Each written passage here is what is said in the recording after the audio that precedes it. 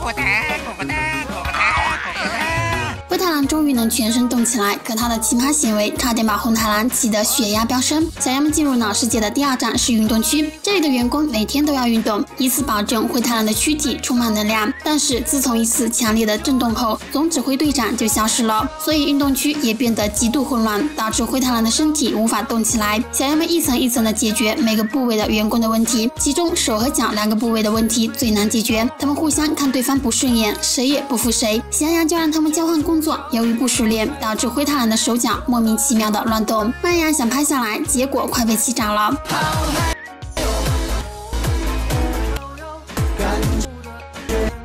还玩我呢？茶太郎来抓灰太狼也是快被气死了。到你来就是黑我不养俺的女人。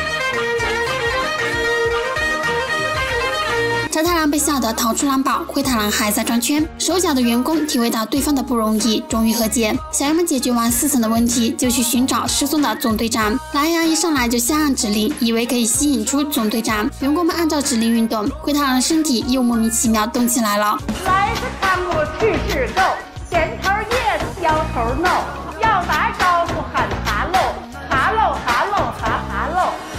快被折腾散架了。运动区的员工知道是蓝羊在下岸，于是纷纷争抢着要当总队长。朝太郎来抓灰太狼，又看到他诡异的动起来。一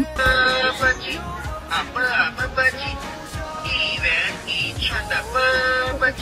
最后，灰太狼的身体运动超负荷，直接倒在地上，被茶太狼抓走了。小羊们发现总队长晕倒在杂物间，还变得又胖又懒，只想睡觉。原来是因为运动区出现很多黑色物质，它能腐蚀人的身体，让人一点都不想运动。小羊们带着总队长不停地运动，终于让他变回曾经的样子。运动区像从前一样运作起来，灰太狼的身体也恢复如初。此时，红太狼、曼羊和茶太狼打起来，但并不是他们的对手。关键时刻，灰太狼帅气救场，而且他的身身体变得好灵活，直接躲过子弹的射击。茶太郎打不过，又让他们逃走了。小羊们去的下一站是美术区。为了鼓励画家灰太狼创作出新作品，他们硬是把一幅涂鸦画得天花乱坠。可奈何列车长不配合，赤裸裸的揭穿他们的谎言。画家灰太狼非常难过。美术区即将被拆除，小羊们帮他拖延时间。最后，他终于画出一幅吴小羊战斗的绝美画作。美术区也焕然一新，保留了下来。现实中的灰太狼受到影响，刚开始在家里乱涂乱画，红太狼肺都要被气炸了。不过那幅绝美画作他还是很欣赏的。灰太狼的奇葩行为不止这个，他用汤来洗澡，还把鱼粮往嘴里倒。小灰灰让他睡觉，他就学鸡叫；红太狼让他端菜，他就真的只端菜不端碗。喊他上桌吃饭，他就直接跳上桌子狂吃海喝。要不是知道他还没恢复意识，红太狼早就给他一平底锅了。不过令人感动的是，柴太郎抓住小灰灰时，灰太狼逃跑后又返回来救他了。小灰灰还以为爸爸恢复正常了呢。